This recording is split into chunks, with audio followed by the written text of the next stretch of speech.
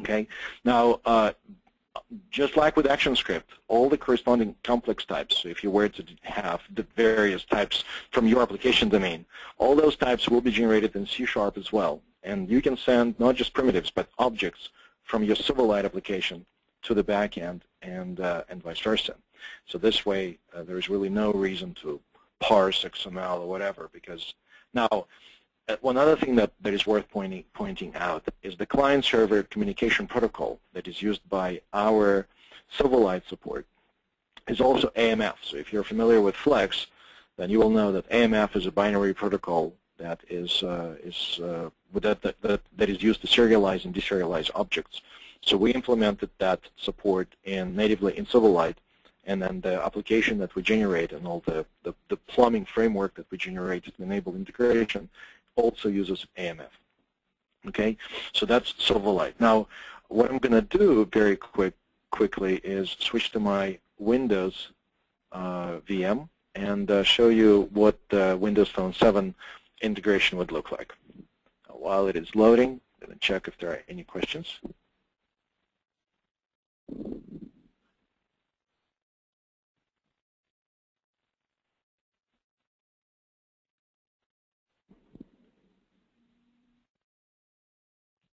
All right, so here's my Visual Studio.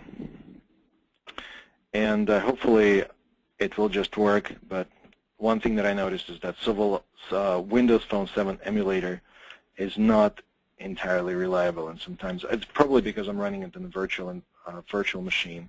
Let me just start it. I do have this project generated by WebOrb, so I'm just going to run it, and it starts this emulator.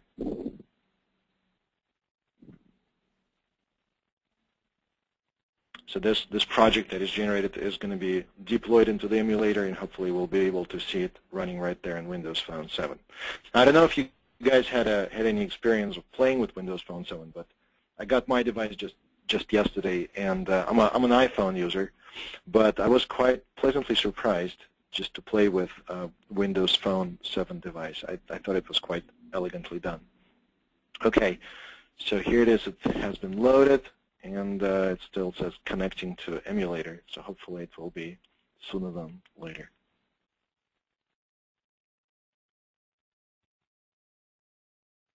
All right, so now it's deploying this app. I know this, this kind of setup is not ideal for real-time real-time webinars, but I just wanted you to, to see that in action.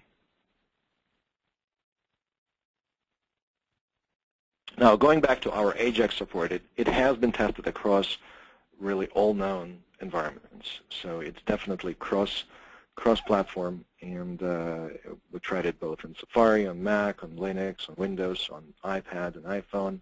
It is it is it works across pretty much all devices and uh, client-side environments. All right, so deploy succeeded. So hopefully it will just run it. Okay. So here it is, phone invoker. Let me just run this guy. It's loading. And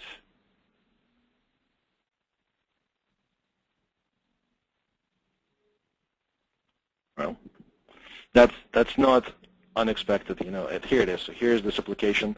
So it's a Silverlight app, and uh, just like on the traditional uh, app, you can select the, the, the methods from the drop-down, enter the enter the values for the arguments, okay, and uh, just do the invocation from your Silverlight application to, to the backend. So let's say if this is a list, this is how you add arguments. All right, so if this is a numeric value, just you, you can see how slow this thing is. So I just click on this numeric keyboard, and then delay is about, I don't know, five, five ten seconds. Here, here it is. Here's the invocation. Okay, so that's that. That should be that should be it as far as the Windows Phone 7. Okay. All right. Okay, now let's let's move on. Now, uh, some other things that we are doing, and it's not going to uh, make it in 4.1, but more than likely it's going to be just immediately uh, after, is very similar support is going to be added for both Android and iOS devices. So you will be able to generate the code uh, that will give you a full-blown Air-based or Java-based Android application as well as the iOS application. So this this way, it's going to be very, very easy to get started with this kind of development and the actual integration. In fact, we have already prototyped the AIR, AIR part, and I did a webinar a few weeks ago where we demonstrated support and integration with Playbook and an Android device, and uh, a recording of that, I believe, is going to be uh, uploaded and will show up on our blog very soon. Okay, so uh, let's talk about the next thing that I want to talk to you about is Grails integration. So for this, I'm going to uh, just quit some of the things here to release more memory. Okay, so this is my local WebORB. I'm going to quit that.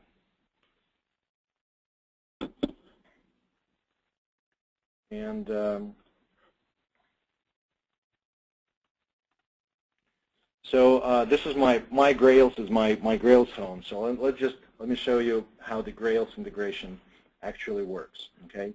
So first of all, let's create a Grails Grails app. So Grails create app, and let's call it demo. Okay. Now, if you're not familiar with Grails, Grails is sort of Java-based Rails implementation. That's uh, you know I'm, I'm I'm fairly new to Grails. If this if someone has a better description, uh, then uh, you know I definitely welcome ideas. But if you don't know about Grails, I recommend just googling it and reading about it. If you're if you are coming from Java background, a lot of things will will be very uh, familiar to you. Uh, one thing that it does particularly uh, well is just the, the simplicity of getting started with data-driven applications is uh, is very similar to what you would expect, what you might ha have heard of about Rails. All right, so uh, Peter's saying that it's much better than Rails, uh, and uh, you you might be right. You know, I'm not I'm not an expert in neither Rails nor Rails. I'm just I'm just getting started, and uh, so here we created uh, a, an application called Demo, and I'm just going to switch to this directory, and um, one thing that I will need to do is I'm just going to install a WebORB plugin. So right here, actually, you know what? I will need to bring up a list of commands that I had written in my Skype account just to get things moving quickly. I apologize. I closed it down just to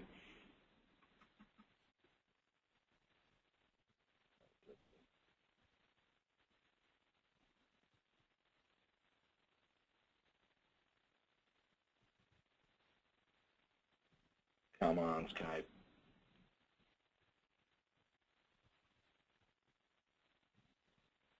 Okay, so let me just say don't disturb.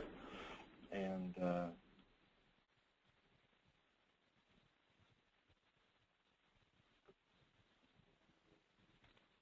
I'm sorry, guys. I should have been better prepared for this, but hopefully it will worth the wait.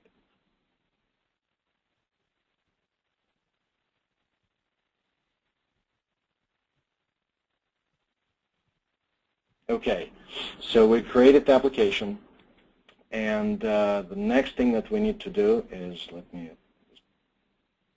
all right, we're going to install install the plugin. And uh, for do that, there is, a, and the plugin is something that is actually included with WebORB. So whenever you install WebORB, what you will see is going to be something like this. So this is going to be your WebORB installation, integration folder, Grails, and then the zip file that is included in integration Grails is the actual plugin. Okay, so you will know where to find it. Now, um, so right here I'm going to say Grails uh, install plugin. And uh, here's my uh, plugin, Grails Flex WebORB 0.1. This is going to get run, and now it is installed plugin into my application. Now, once the web is installed, it actually gives you the web WebORB functionality, including the console and the integration server, the RPC, remote procedure call piece, and messaging and RTMP all right in there. Okay, so now let's create some sample code that Grails can do for us just, just to see it in action. Okay, so for that, let's just say Grails create dash domain dash class product. So that creates a domain class product, and it's going to be like bare bones. And we're going to enhance it in just a second. And also we're going to create a service. For that I'm going to say Grails create dash service product.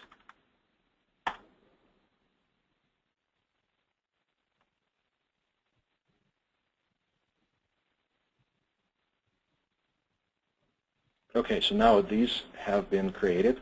Let's take a look what it what it actually looks like. Okay, and for that, let me switch to my development folder, Grails, demo, and here's my Grails app. So under services, there's a demo package, and here's the Groovy file. So Grails uses a language called Groovy, which is sort of Java-based, from what I understood. Uh, and uh, let me open that in the text editor. All right, so this is this is what it looks like. And by default, it doesn't really do a whole lot, okay? Uh, but uh, we can actually modify this code. Let me find the right one. And we're going to add uh, another method to it that will look like this. All right? So here we're adding a method called getProducts. And getProducts is, is invoking method uh, called list, which essentially will just return a list of all the products that our application will deal with. Okay, so let me save this. And uh, uh, also we're going to take a look at the domain. And domain is going to be our domain object. And it's product, the one created by Grails. So this is what the product looks like. And we're going to enhance it a little bit and add some some columns. Okay, so these are the these are the columns or properties that, that the product class will have. Okay, now we need to bootstrap this application and put some products into it, just so so we have something that to work with. Okay, and for that, if we're going to conf, there's bootstrap.groovy.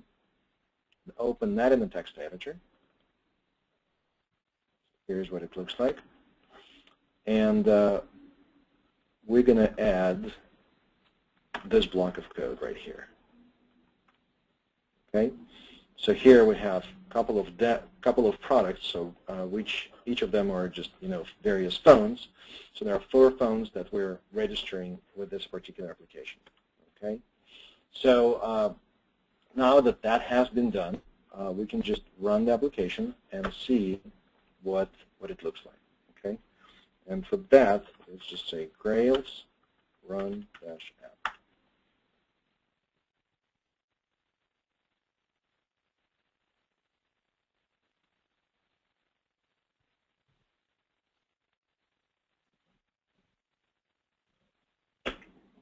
Say everything is being deployed and put in the right places. So now it starts up WebORB, uh, and WebORB will, you know, configure itself, get get all the configuration from config file, will run uh, the RTMP server, and uh, let me open up a browser.